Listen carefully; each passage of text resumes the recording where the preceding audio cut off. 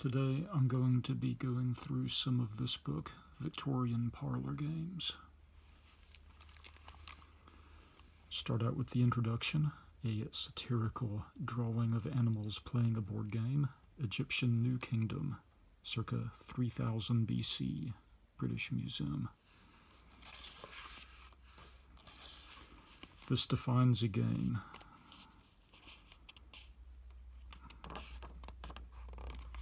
Says how the Victorian age was the golden age of the parlor game.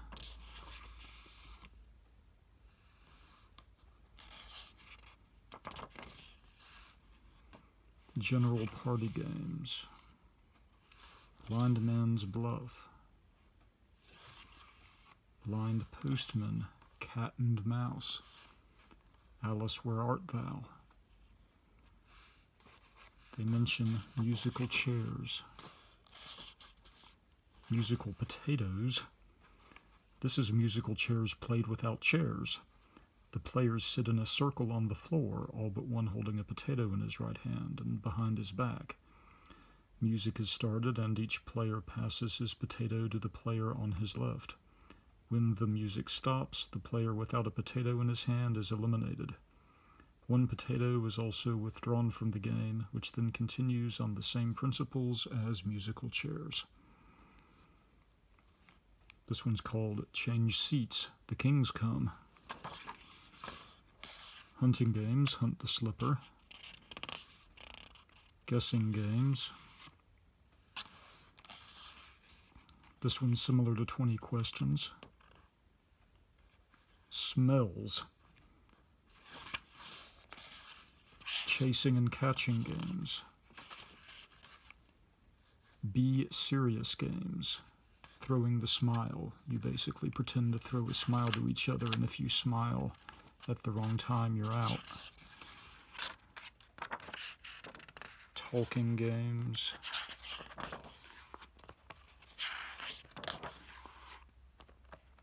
Action and movement games.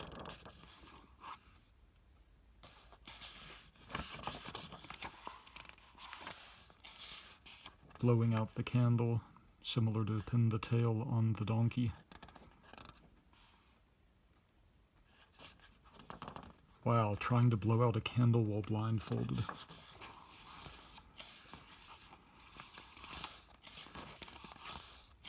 Acting games. Kissing games. The Victorians were actually not the way they're stereotyped sometimes. Romp games, people literally running around. Rejected addresses.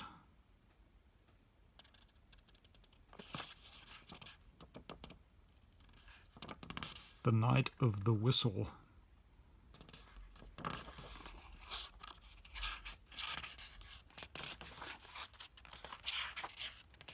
Mirror drawing, where you try to draw something while looking at it in the mirror.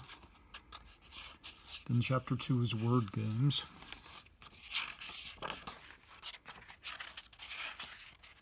I love my love.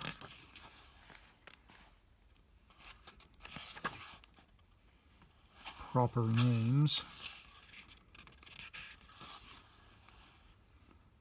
And then chapter 3 is table games,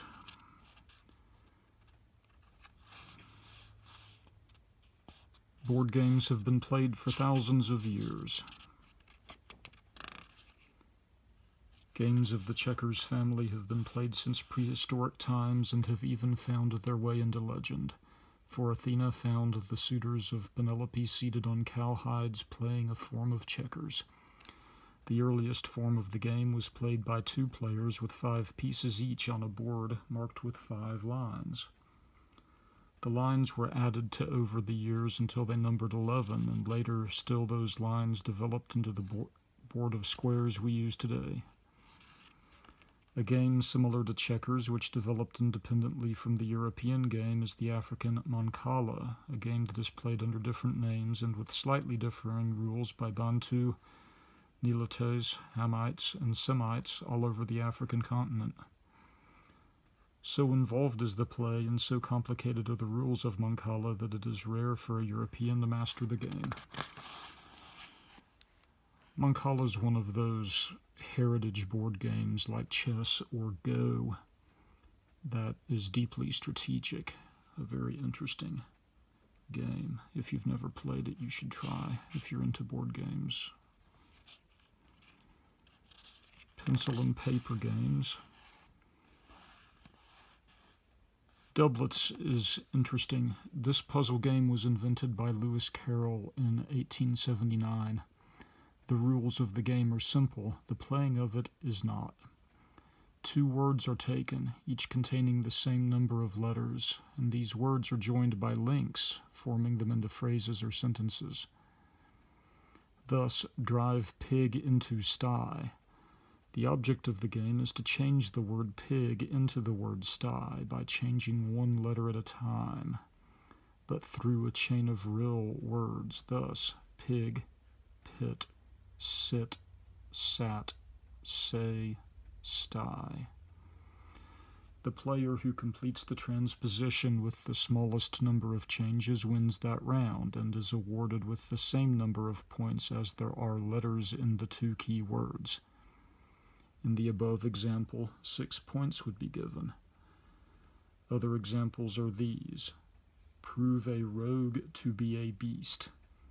Rogue, vogue, vague, value, valve, have, helve, heave, leave, lease, least, beast. Try some of the following. Raise four to five. Make wheat into bread. Dip pen into ink. Touch chin with nose. Change tears into smile. Pitch tense. Cover eye with lid. Prove pity to be good. Make eel into pie. Evolve man from ape. Make flour into bread. Get coal from mine. Square words. A word is selected, its length being a matter of taste, for the longer the word, the more difficult the game. Let us suppose it to be past time, each player writes this word on a piece of paper downward on one side, upward on the other. The players then have to supply letters to form words that begin and end with the letters as they stand. A fixed time is allowed for this, say five minutes, and at the end of this time each player calls out his words. The words should be as unusual as possible, since a word formed by more than one player does not score. Words of less than four letters are not allowed. The longer the word chosen, the more difficult becomes the game, for in a long word there is more chance of the vowels falling together, and the combinations of such vowels as a and u or their reverse are difficult to fit into a word especially if proper nouns are ruled out. A possible solution to the square given above might be this paste, alarm, spaghetti, taint, illness, memoranda, and rap. Next, they have hangman, which I think most people know these days. This is dots which I've seen young people play. Original sketches, The Maze, Up Jenkins. Another very old game. Two sides, each with a captain, seat themselves on either side of a long table. One team possesses a small coin, which they pass from hand to hand under cover of the table. As soon as he thinks that sufficient time has been given to hide the coin, the captain of the other side calls, Up Jenkins, and all the closed fists of the coin holding side are held above the table. The captain then calls, Down Jenkins, at which the hands are brought down upon the table, palms downward.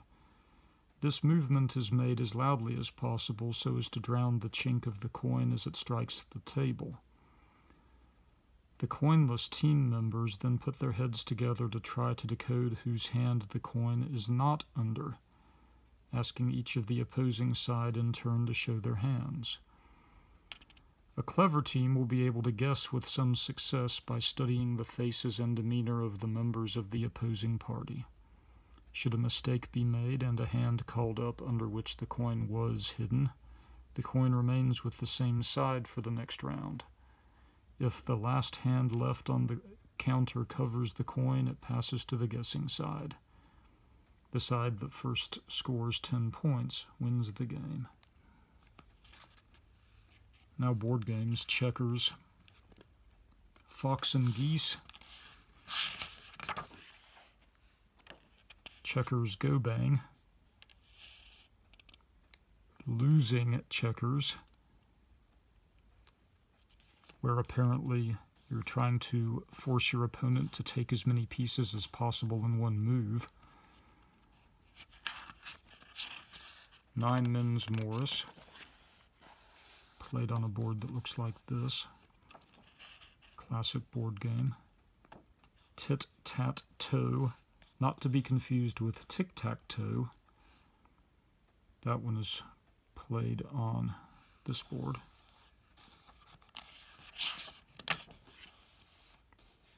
Coronet. This game is played by six players on a board which is simple to draw. It should be made large enough for each of the six compartments to contain eight counters which may bear a real or nominal value. The game can, of course, also be played with coins.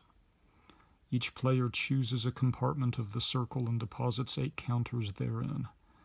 The player who has the sixth compartment throws a die.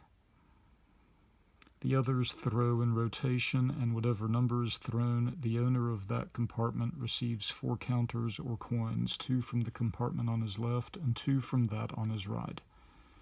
Should one of the players lose all the eight counters staked before the end of the game, he may, if he wishes, stake eight fresh counters and the game proceeds as before. If, on the other hand, he decides not to stake further counters, then any other player may claim that compartment by staking eight counters upon it. Should no one occupy a compartment, it is considered non existent, and if its number should come up, the die is cast again. In the event of a blank compartment, the players receive winnings from the nearest right or left hand compartment. The game is won by the player who first increases his 8 counters to 18 or more, and as the winner, he receives one counter from each player. Next, we have domino games.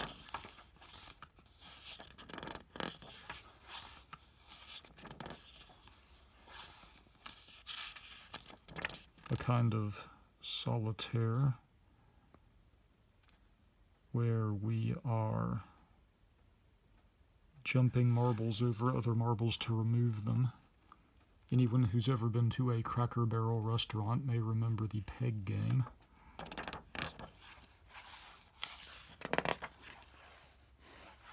And the next chapter is card games.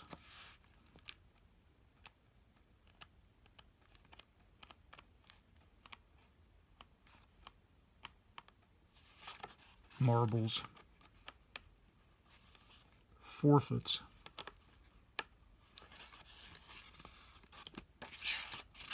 And the index of games.